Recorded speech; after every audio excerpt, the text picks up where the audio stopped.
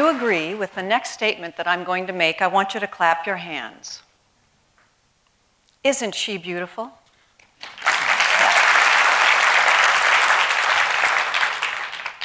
Mother Earth, planet Earth, blue planet, the water planet.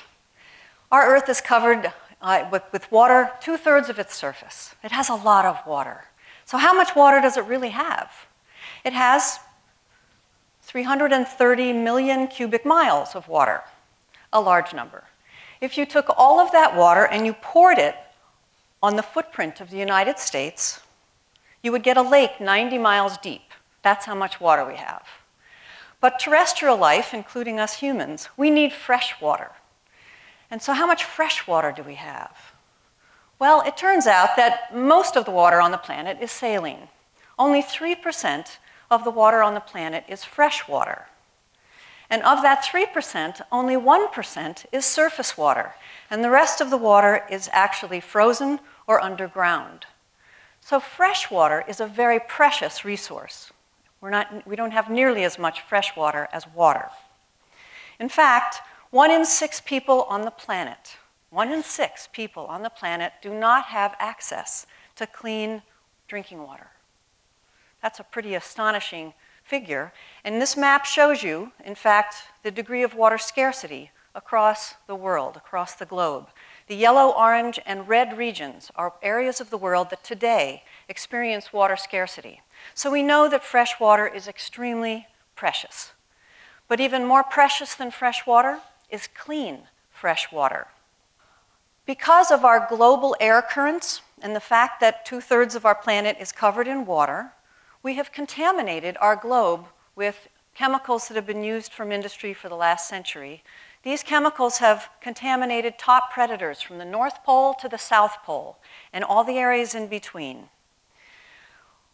Now, this is just a handful of chemicals, and we happen to know with certainty that this handful of chemicals causes harm to humans and wildlife. And so the UN banned these chemicals some years ago. So we, we took action on this handful of chemicals. But it's just a handful of chemicals. How many other chemicals are out there, and should we be worried about them? Well, let's look at the universe of chemicals. So, how many chemicals are used in commerce today? This shows, a, this is sort of a cartoon of all the different chemicals that are, are registered for use, not regulated, an important distinction.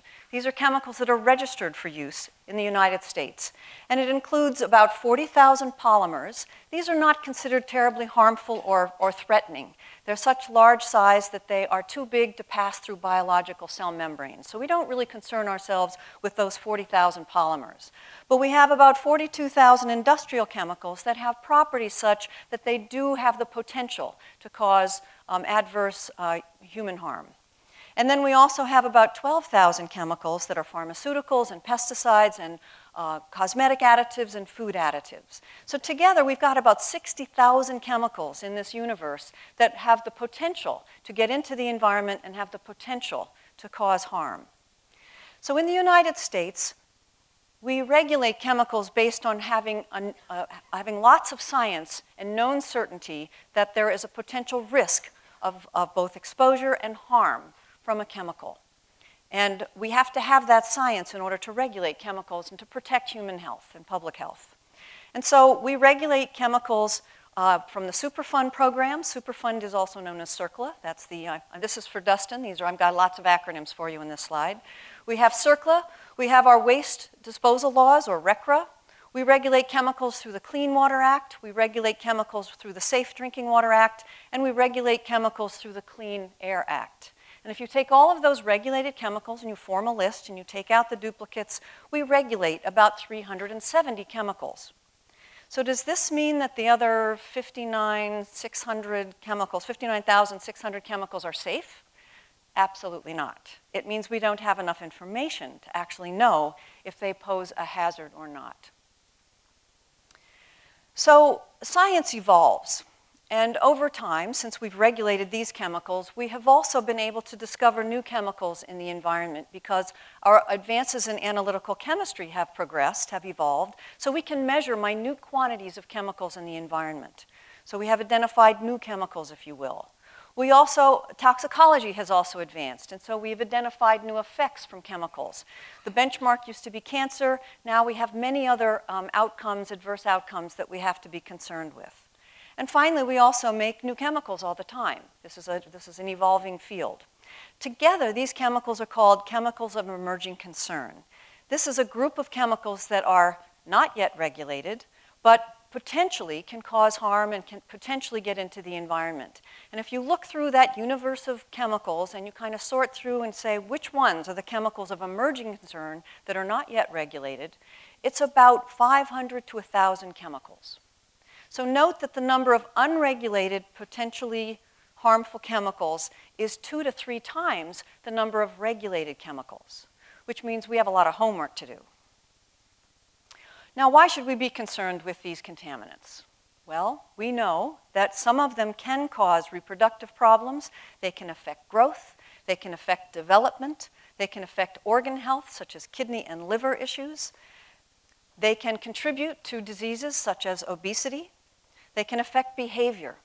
Now, all of these are insidious, they're all bad, these are not good effects, but the worst effect of all is that sometimes these effects can be transgenerational.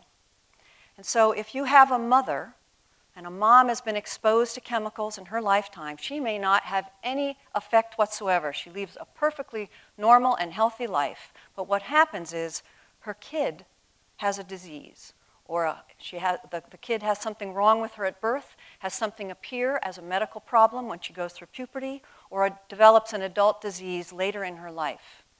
And even more insidious and really alarming is that these diseases can then show up in the next generation of, that, of, the, of the daughter.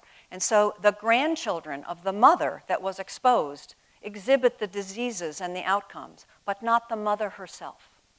So this is called transgenerational effects, and they're very much thought to be related to the epigenetic mechanism that Dr. Moen talked about earlier. This is why we should be concerned. So, where do these chemicals come from? Why are they in our environment, and how can we stop that? Well, they come from a variety of things, but unfortunately, most of them come from our everyday life. They come from our use and disposal of beauty products, of household cleaning agents, of our use and disposal of drugs. They come from our food containers and our water containers. They, they, many of these chemicals are current use pesticides. They're the pharmaceuticals used in, in livestock, in commercial livestock production. And they, of course, occur in industrial effluent. And because these are universal things that we use in our everyday lives, they end up in our waste streams, and then they end up in our sewage treatment plants and our wastewater treatment plants. And the wastewater treatment plants don't remove these chemicals, and they get put into the environment, into our lakes and rivers and streams. And so this shows how just our everyday living produces chemicals in our waste stream, and that's how they get into our water supply, is through our wastewater treatment. Are we exposed to these chemicals? Yes, we are. A recent study by the U.S. Geological Survey looked at the drinking water source for a, about um, a third of the United States, and they looked for 55 different contaminants of emerging concern. And what they found routinely was 11 compounds, nine of which are pharmaceuticals, one was a pesticide, and one is a flame retardant. And so we do know that we're exposed to these chemicals. What we absolutely don't know is what this means in terms of public health. We do not know what the potential harm is from drinking water that contains these chemicals. We absolutely do not know that. But what we do know with certainty is that these chemicals can cause effects in fish and wildlife. Many studies have shown this. This is a recent study also done by the U.S. Geological Survey that looked at fish health across the entire United States by looking at major river basins. They looked at nine major river basins out of 11 in the United States, and they looked for a condition known as intersex. And they found intersex in, in one third of the sites that they looked at. This is an alarming number. Intersex is when you have female ovarian tissue and male testicular tissue in the same individual fish, in one fish. So this fish is definitely not normal, and this fish definitely cannot reproduce. And that, this condition was found in fish from one third of the sites that they studied. So, what can we do about this? Now that I've depressed you just before lunch, what can we do about this? The current paradigm is that we manufacture chemicals, we do research to manufacture chemicals, and then we sell them to consumers, and consumers use them at alarming rates, and we put it all in the trash when we're done. And so we have a lot of waste, and unfortunately, the chemicals that are in that waste can leach into the environment. And so, and then we end up with a problem. And so, what do we need to do? We need to reduce the waste, but most importantly, we need to reduce the toxicity of that waste. And how do we do that? Well, we have to move upstream, pun intended. We have to educate consumers. We have to get all of you and all of your friends and all of your neighbors and family and everyone else you know, we have to get consumers to demand safer products, to demand products that have safer chemicals that were used to manufacture them. So we have to educate consumers and get them to speak with their pocketbooks. We have to make sure that production is, is made more greener, if you can. So we're talking about green manufacturing here. We're talking about making safer products. And then we need R&D to, to, to find substitute chemicals that are safer to go into those products. And this is where green chemistry and green manufacturing come into play. So we have to get we, we can't just clean up the waste. We have to get rid of the toxicity of the waste by moving upstream and getting these chemicals out of our society. Now, this is a societal fix. And I'm sure you're sitting there going, well, what can I do about that? I don't know any R&D chemists. Well, the thing is, is that there are things that you can do as an individual.